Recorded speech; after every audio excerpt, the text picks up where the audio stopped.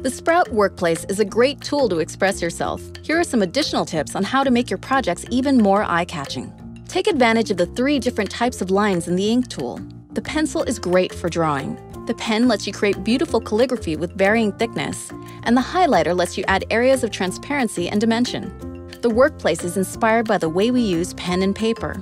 So, instead of using straight lines or boxes, get creative. Use the pencil to draw stitches around objects and text. Create frames around objects with the pen.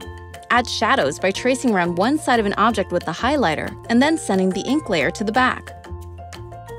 Line drawings always look cool, and now you don't have to be a pro to create them.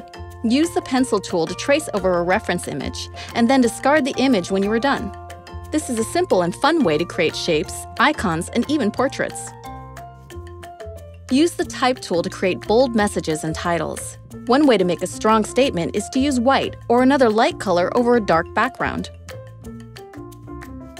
The Punch tool is a great way to create shapes out of captured patterns or images. You can make stars to mark places in a map, or punch little circles and hearts to create confetti to decorate a card.